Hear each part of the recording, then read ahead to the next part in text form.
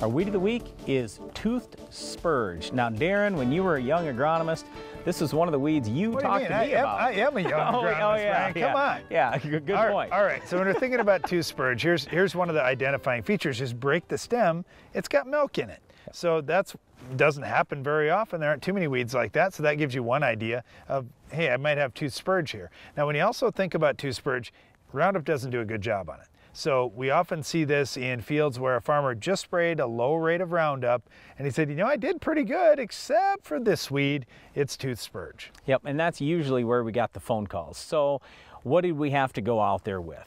In soybeans is where we typically are going to see this problem. And post-emerge, now we've got 2,4-D tolerant soybeans, dicamba tolerant soybeans, Liberty tolerant soybeans, all those things can work fairly well.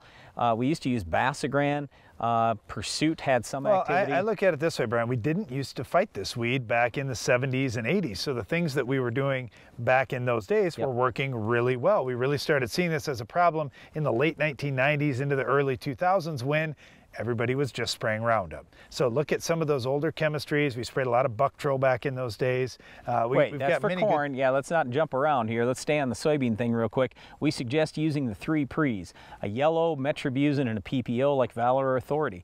Then you get to corn. Yes, Buctril, Status, the HPPDs. I mean, there are a lot of things that can work there. Pre-emerge, I'd suggest getting something out with Sharpen. Uh, maybe Verdict would be a pretty good choice. Yeah, and wheat, it's sharpened down, it's Huskie over the top, and you won't see tooth spurge. Well, that's it for our Weed of the Week, but stay tuned. Iron Talk is coming up next.